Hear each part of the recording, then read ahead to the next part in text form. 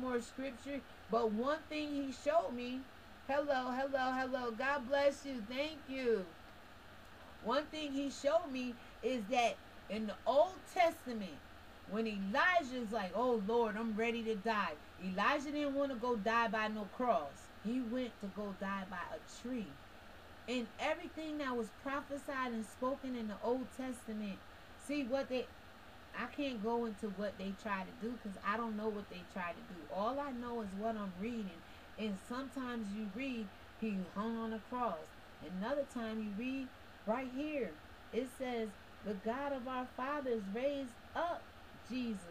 I'm going to call him Christ Yeshua Emmanuel from now on because that's his name. Who ye slew and hang on a tree. How did he die?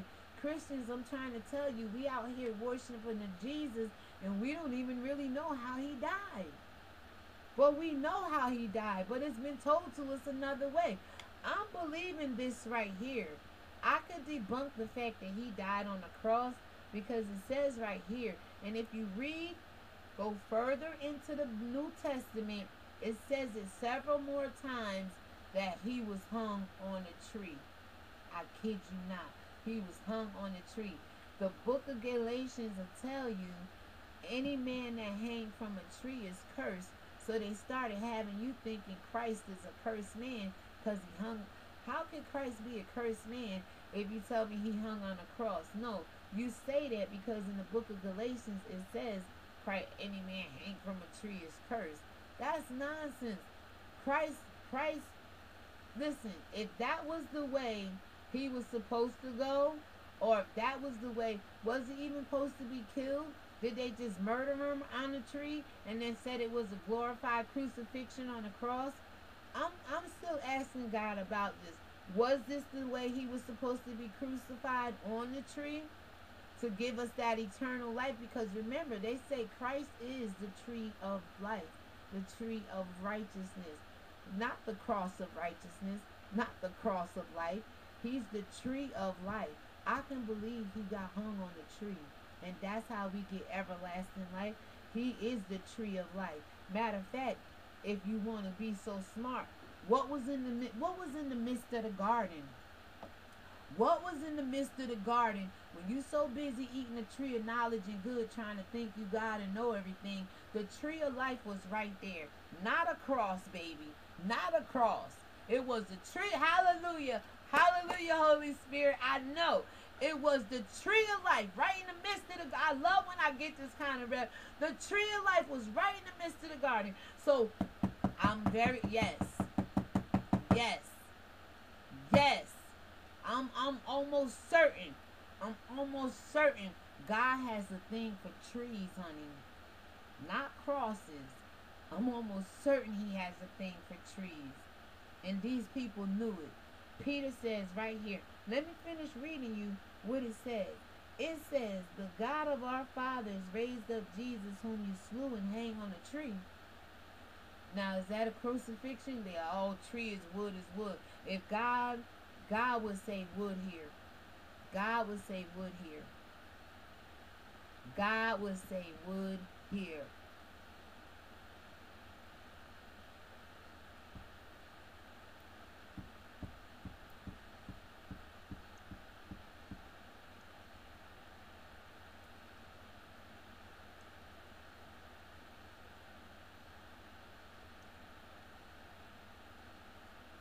Come on, come on, come on. Don't.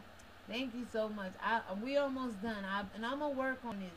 I'm gonna ha- I'm gonna have to make sure everything else is off when I do this. But okay. So anyway, I'm apt to believe that God has a thing for trees and not crosses. Here to say cross here. And remember, we read in the book of Matthew that Mary had a child, virgin's gonna child gonna be born to a virgin, his name shall be called Emmanuel. So why here in the book of Acts, they're calling him Jesus now? Where'd Jesus come from? The Greeks, people. The Greek. His name is Emmanuel. I'm listen. I said when it went off, the devil might remind you of your sin.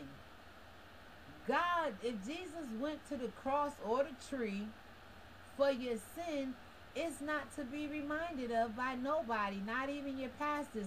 They supposed to be preaching this good word right here. You notice ever since we've been talking, I ain't say not one thing about your sin or what you're doing wrong. I could give two two cents less. I want you to open up your eyes to what we have in the Bible that'll help us set be set free. Once you get set free, your freedom, your good choices, that'll help you deal with your sin. Once you get your eyes open to read this word yourself, that'll deal with whatever wrongness we got going in our lives according to God.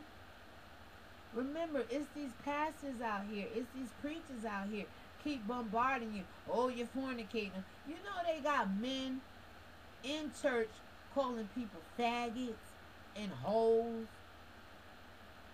That's that's come on now. I'll never come to your church and call nobody a faggot and a hoe.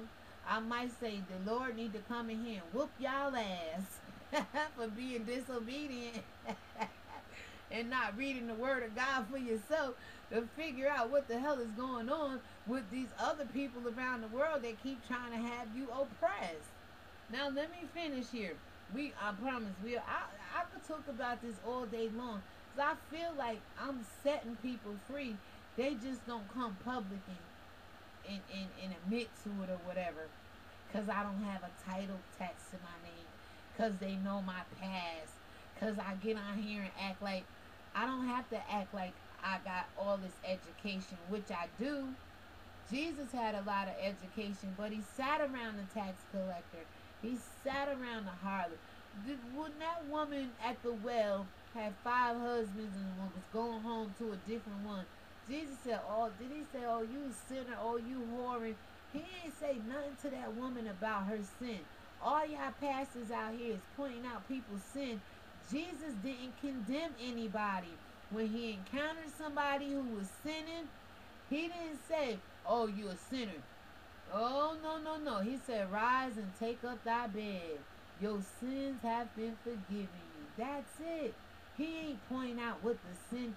Matter of fact, the Bible says if you remit somebody's sins, they're remitted. If you retain them, you can remit somebody's sins if you're strong enough as a Christian. We can do all things through Christ who strengthens us, right? Not through Jesus, but through Christ we can. Okay? And I'm glad they got Christ there because I couldn't say I could do all things through Jesus who strengthens me. I don't know if I could do that. Because Jesus, Zeus, is powerful. When you look up the word potentate, P O T E N T A T E, it's related to Zeus, it's related to Jesus, it's related to the Pope. They triplets. They triplets. Born of another mother, they all got the same DNA in them. Okay? Let's go back to this though. I told you right here in the Bible, folks, Jesus was hung on the tree, according to Peter. Why? Look what Peter says. In 31, it says, He hath God exalted with his right hand to be the prince and a savior, but to give repentance to Israel, not the whole world. Repentance ain't, butn't according to this Bible, ain't even for the whole world. Why? Because half the world don't even love God. So God could care too less about them repenting. God don't care about these people the way we out here. Oh, God loves everybody. God don't love everybody.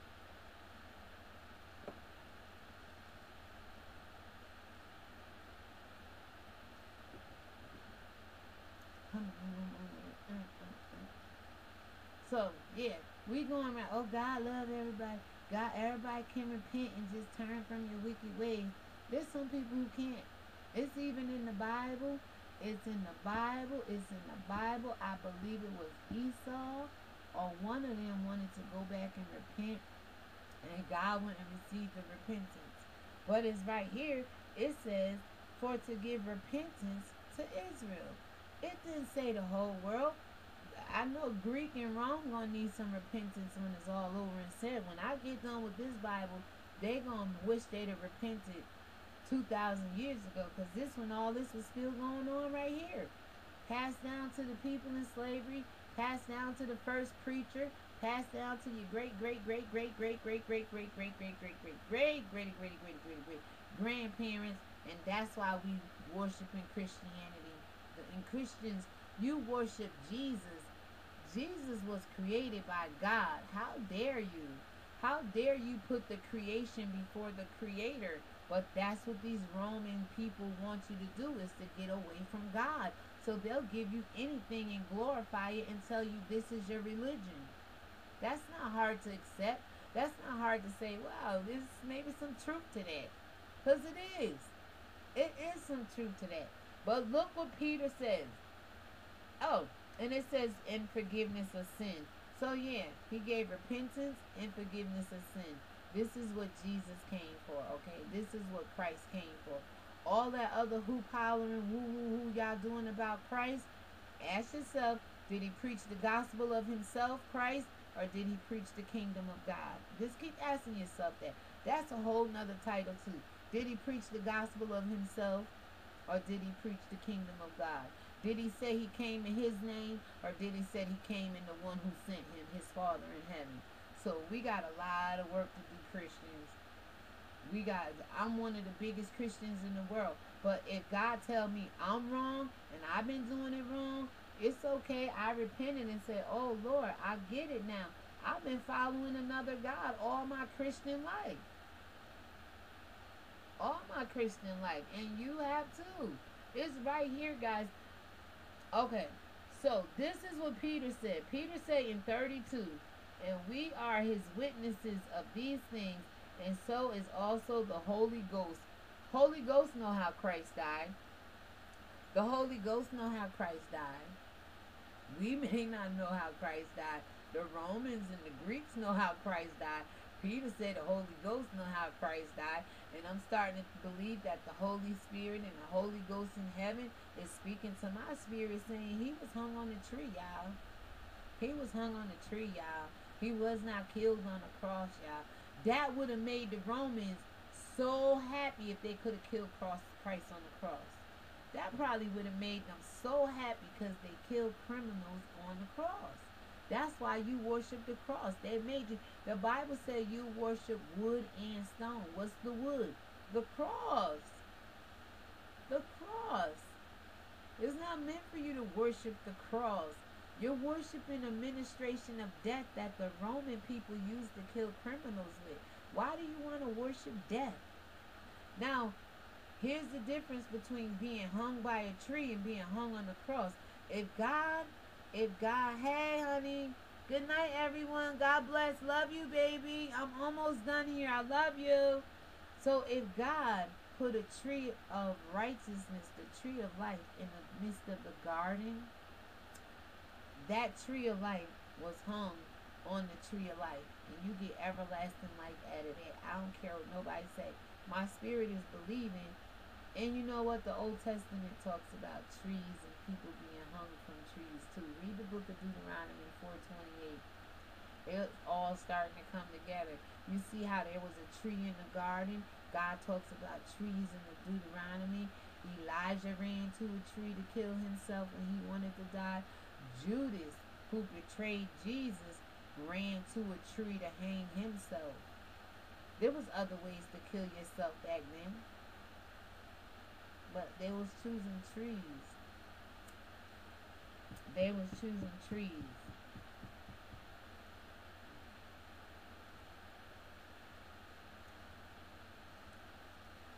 So, almost done, almost done, almost done, almost done, almost done, almost done. Come on.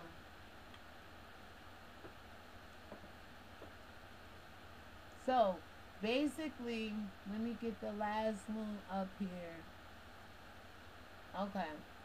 So basically, it goes on to say that, and we are his witness of these things, and so is also the Holy Ghost. Thank God for the Holy Spirit, right?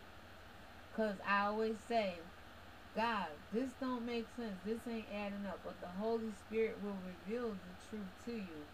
If you have to go other places, if you have to seek truth somewhere else, God will give you that truth. So anyway, in 33, it goes on to say, um, when they heard that, when these people heard what Peter and them was saying, They were cut to the heart. They was pissed off, y'all, and took counsel to kill them. These some killing people, y'all. That's all they was doing back there was killing God's people, y'all. And I'm trying to tell you, they still trying to kill us, y'all. You eating the pork. Pork give you the high blood pressure, diabetes, um, um, um, um, cholesterol, clogged arteries, and what the diabetes is. Don't you know insulin is made from from pork?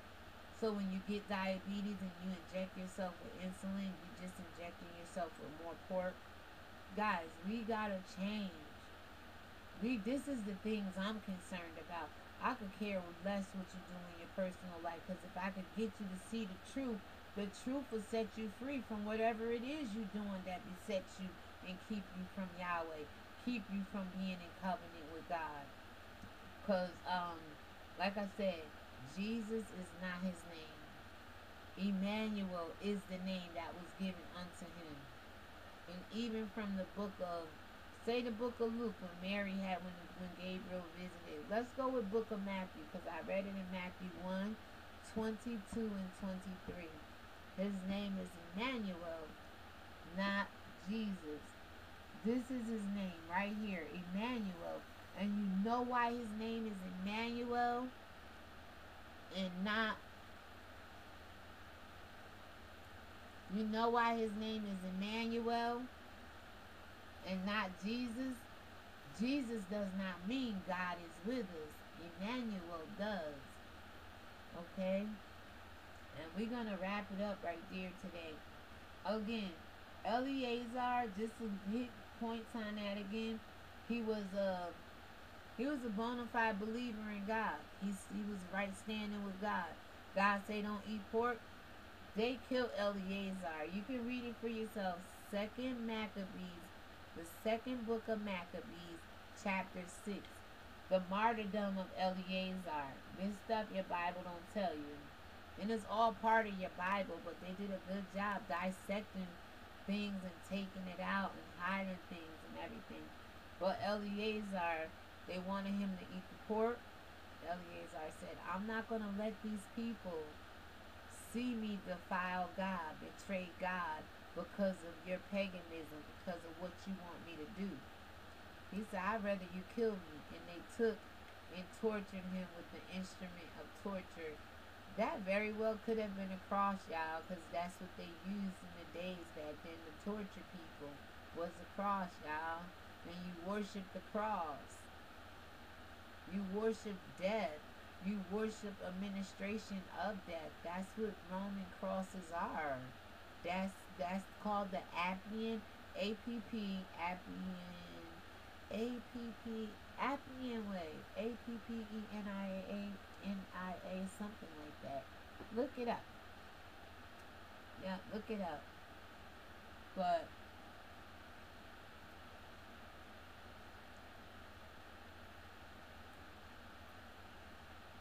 come on, come on, come on, come on, come on, come on, come on, come on, come on. But that's what I want to say, guys. Basically, Christ's name is Emmanuel, and it means God with us. Jesus' name doesn't mean that. The name Jesus is a rendition of a Hebrew Yeshua, who is Emmanuel, God with us. And see, when you call Jesus, and a lot of times, Holy Spirit, thank you, you wonder why you can't feel the presence of Emmanuel, of God, because God is not with Jesus. God is with us through Emmanuel. You get that? God is not with us through Jesus. God is with us according to the Bible and according to every other research through Emmanuel, which means God with us. That's why God wanted his son. Forget Mary that's God's son. God wanted his son named Emmanuel because it means God with us. Jesus' name means it's a copycat, it's a fake. They made it over. They took a, a Hebrew name, Yeshua, and tried to make it into Jesus. And that's why you're struggling, Christians. That's why you're having a hard time That's why you can't line up with the word of God because God ain't with you in Jesus. God again is with you in right here, Emmanuel. God with us. You see that? That's it, folks. I'm gonna keep bringing you this good teaching. Again, I said.